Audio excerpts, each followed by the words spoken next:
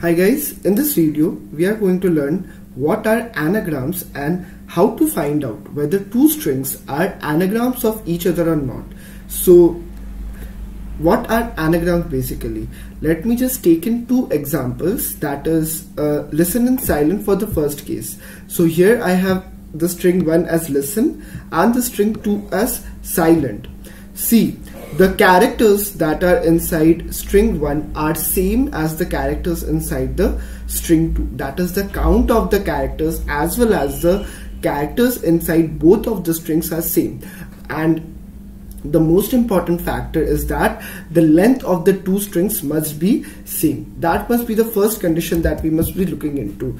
So see l occurs once in this listen l occurs once in silent I occurs once in listen, I occur once in silent, S occurs once in uh, listen and so on in silent also. So these two particular strings can be said to be anagrams of each other. So if I run a function then uh, it would be returning me true that these two uh, strings are anagrams of each other. The second thing is that uh, let's take an example, another example, elbow and below as you can see that the characters inside elbow and below are the same and the number of occurrences of each character is also same. But let's see for the third example that we have taken is AABCD. Okay. AABCD and ABBCD. See here A is occurring twice whereas A is occurring only once in case of the second string and B occurs twice in the second string as B occurs once in the first string. So this we can say is not an anagram and it would be returning a false value if uh, it is run through a function that is suppose saying if whether the two strings that we have provided is anagram or not. So let's just go into the coding part. Before that, we must discuss about ASCII values. Okay, ASCII values we would be using very much in this particular uh, in this particular series of string videos in order to uh, solve our problems. So what are the ASCII values? ASCII values are a numerical value that has been provided to each and every character that is present in your keyboard. So there are 256 ASCII values. So instead of, uh, so in order to maintain the count, we would be also keeping an array of 256 length and we would be checking it. Okay.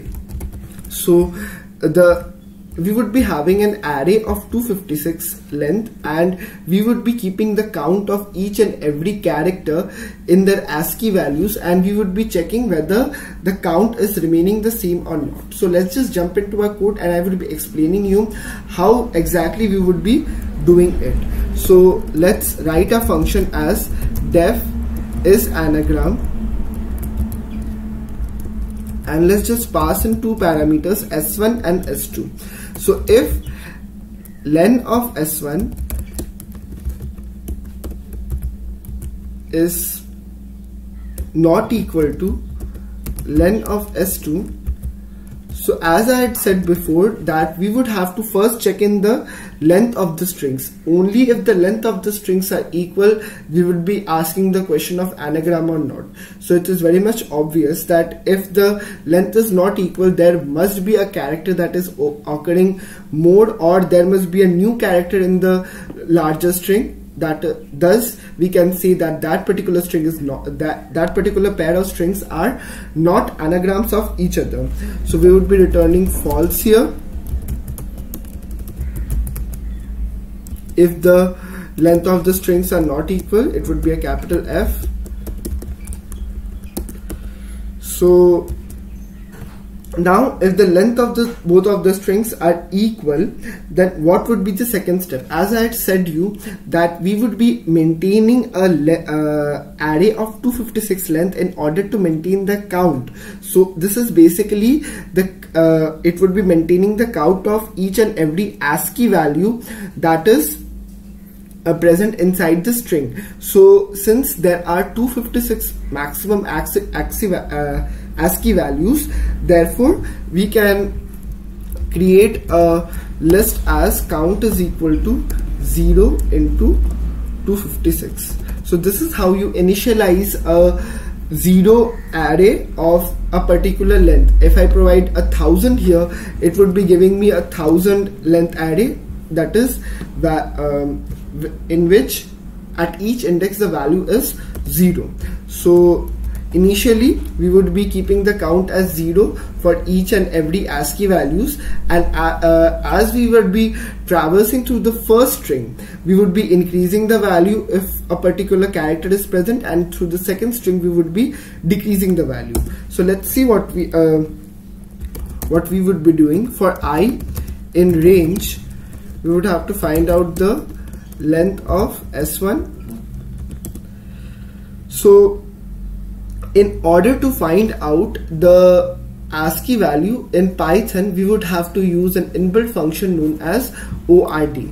So we would be increasing the value of that particular index in the count array. So count of ORD of S of i, we would be increasing it by 1. Okay, this is for the first string. So I'm getting an error here yeah it would not be s it would be s1 the first string is referred to as s1 now we would be traversing through the second string for i in range len of s2 and while traversing through the second string we would be reducing the values of the particular ASCII uh, of that particular index. So count of ORD it would be S2 of I.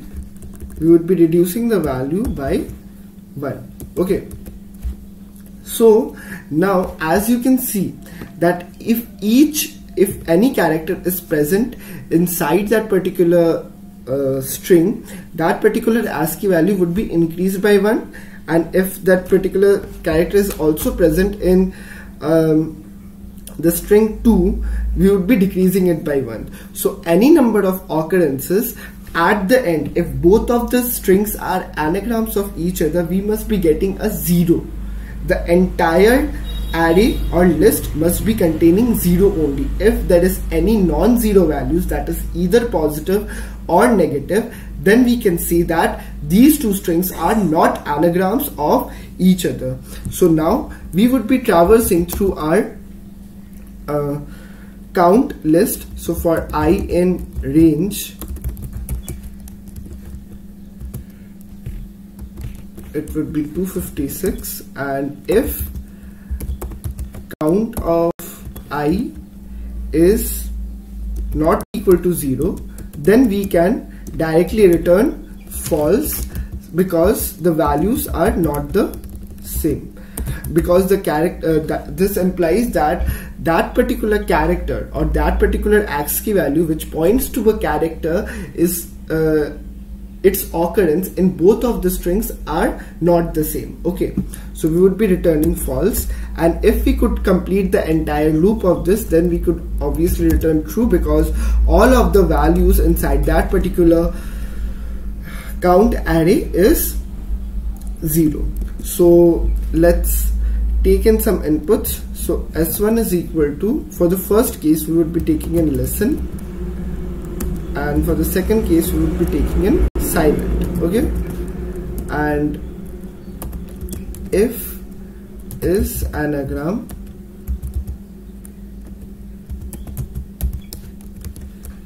if I pass in the two strings s1 and s2 here and if I get a value of true I would be printing yes. Else I would be printing no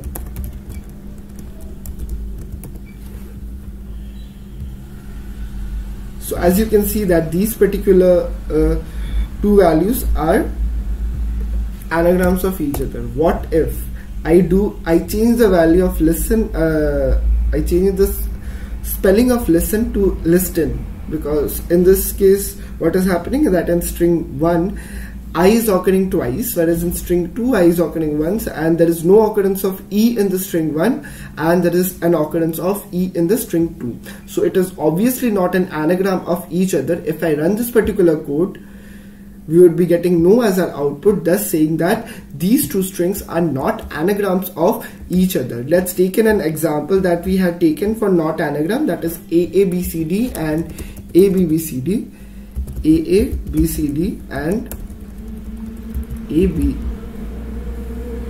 bcd and we are getting no as our output again.